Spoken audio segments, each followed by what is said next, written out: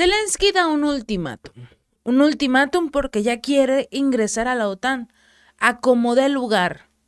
Y por ello insiste en que sea incluido en este grupo durante la cumbre del bloque militar que se va a celebrar en julio, antes de que se lleve a cabo la famosa cumbre del grupo de los BRICS, donde se encuentra Brasil, Rusia, India, China y Sudáfrica. En este caso, como en esa cumbre de los BRICS van a hablar de los nuevos miembros principalmente, Ucrania ya está desesperado, está harto. Volodymyr Zelensky dice ya por favor, únanme a esta cumbre, únanme a este grupo porque lo necesito, sobre todo porque una vez dentro del organismo podría solicitarle a Estados Unidos, a Francia, a Alemania, a todos los países que forman parte de la OTAN, que lo ayuden a derrotar a Rusia. Obviamente, al hacer esto, crearía que el resto de los países que apoyan a Rusia, si bien no eh, de forma oficial, pero sí han recalcado que, pero que en el momento en el que la OTAN oficialmente entre en la batalla, estos países como China, Corea del Norte, Irán, Emiratos Árabes Unidos posiblemente también, Arabia Saudita, estarían del lado, estarían del lado de Rusia. Obviamente, Zelensky no quiere que eso ocurra, tiene quizás un poco de miedo, pero, pero hará lo necesario con tal de formar parte de la OTAN. Y Volodymyr Zelensky dijo durante una cumbre o otra, o sea, no está en su país, en este caso se encuentra en la cumbre de la Comunidad Política Europea que se lleva a cabo en Moldavia. Si se han dado cuenta, los últimos días ha estado paseando mucho Volodymyr Zelensky, más que cuando solo era presidente de Ucrania, antes de todo el asunto del conflicto. La jugada de Volodymyr Zelensky es un chiste. No hay otra palabra para resumir la idea que tiene Zelensky para presionar, para gestar este ultimátum. Se va a saltar la próxima reunión de la OTAN que se va a llevar a cabo en Lituania en julio, a menos que la alianza proporcione a Kiev garantías, las garantías de seguridad que tanto desea y que forme parte del grupo. Financial Times citó a personas familiarizadas con el asunto, revelando que Zelensky ya les dejó claro a los líderes de la OTAN que no va a asistir a la cumbre en Vilnius sin garantías de seguridad concretas, una hoja de ruta para la adición. Zelensky ha perdido la cabeza. O sea, no llegas a mi reunión, quiere decir que no pudiste, ah, estás en un conflicto militar, es entendible que no asistas a la reunión. Y ya, se acabó. ¿Cuál es la intención que tiene Zelensky? Porque realmente es un grandísimo actor y sobre todo en su ámbito, que es la comedia. Porque él ha creado ha convertido la guerra entre Ucrania y Rusia en una vil comedia. No voy a asistir a la reunión si no cumples mis caprichos. Es que ese es el punto.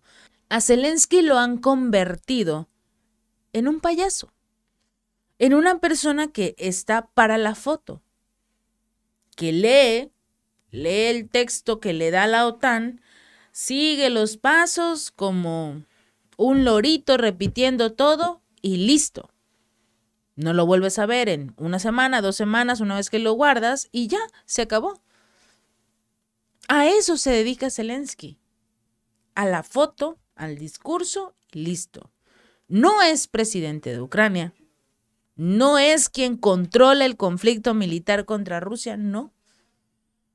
Él es solo un actor representando un papel, el mejor papel de su vida, porque una vez que termine el conflicto militar, se va a ir cargadísimo de dólares en los bolsillos. Pero esta es su amenaza, este es su ultimátum. Si no me agregan a la OTAN, si no cumplen mi capricho, no voy a ir al evento. No es solo una cumbre cualquiera, se supone que son tus aliados. ¿Por qué los vas a amenazar con no ir a la cumbre?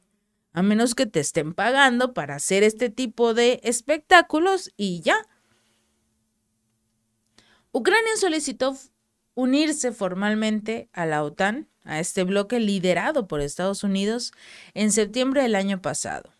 Dijo que la defensa colectiva proporcionaría a Ucrania la seguridad que tanto requiere para enfrentarse a Rusia. Pero el artículo 5 del Tratado del Atlántico Norte estipula que un ataque armado contra un miembro de la OTAN será considerado un ataque contra todos ellos.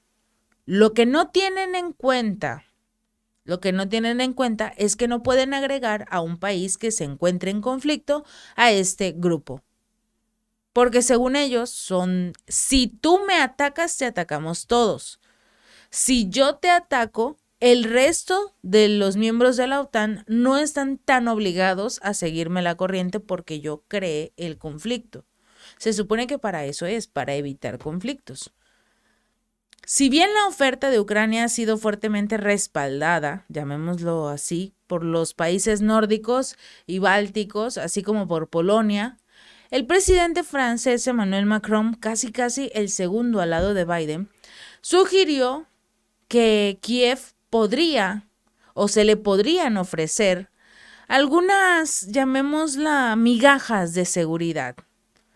Le iban a ofrecer una idea de seguridad brindada a Israel, que ya le habían dado Israel, pero a pesar de que no tiene la membresía de pleno derecho, por lo menos tendría ciertas garantías y sobre todo una mayor calidad de armamento según, porque está un poco confuso. Por un lado vemos a Estados Unidos queriendo congelar el asunto de la guerra porque les está costando mucho, mucho dinero y poder político, sobre todo porque ya vienen las elecciones y el dinero lo van a necesitar para la campaña. Y por el otro lado vemos a Ursula von der Leyen, a esta jefa de la Unión Europea, que ella lo que dice es que pues prácticamente la guerra debe de continuar. Que no importa lo que haga o deje de hacer Zelensky, tienen que seguir armando a Ucrania para que se sigan enfrentando contra Rusia. Y llama la atención porque uno de los asesores más importantes de Zelensky dice que quieren crear una zona desmilitarizada y con eso llegar a la paz. Son muchos, son ya muchos este, escenarios pero en el único, en el único que la mayoría está de acuerdo es el hecho de que Zelensky es un payaso, que está cumpliendo con las órdenes que le da a Estados Unidos, la propia Unión Europea, pero que finalmente no hace nada en beneficio real de su, llamémosla, nación. La primera ministra lituana, Ingrida, Ingrida, Ingrida Simoniet, que será la anfitriona del evento de la OTAN los días 11 y 12 de julio, dijo que sería muy triste si alguien pudiera interpretar el resultado de la cumbre del Vilnius como una victoria para Rusia, como una victoria de Rusia, porque Moscú ve la expansión de la OTAN hacia el este como una amenaza para su seguridad nacional y ha citado la política de puertas abiertas del bloque como una de las razones del conflicto militar en Ucrania, porque entre las, llamémoslas reglas, los, las condiciones para llegar a la paz entre Ucrania y Rusia es que no se permita que Ucrania forme parte de la OTAN. Y únicamente con eso podrían llegar a la paz. Eso y el hecho de que se respeten los nuevos, eh, las nuevas fronteras que se han solicitado por parte de Donetsk, Lugansk, Gerson, Zaporilla, que firmaron los referéndums para ser parte de Rusia oficialmente, tal y como lo hizo Crimea en el 2014. Vamos a seguir esperando a ver cuál será el nuevo show, el nuevo espectáculo que haga Volodymyr Zelensky y sobre todo, si pueden o tienen la oportunidad, síganlo a través de su canal de Telegram, porque lo que comparte es muy muy específico, imágenes que supuestamente deberían conmocionar a la ciudadanía, creer más en él, pero son imágenes demasiado superficiales. Incluso los videos de él que lanza hablando solo, enviando sus mensajes, realmente perdieron su esencia. Son imágenes artísticas, incluso, que las que comparte el presidente Volodymyr Zelensky, y no la realidad de la guerra que él sigue orquestando. Porque ya se hubiese llegado a la mesa de paz, pero él no quiere. Quiere ganar. ¿Qué? Quizás más dinero. Si este video te gustó, no olvides darle like y compartir. Nos vemos la próxima.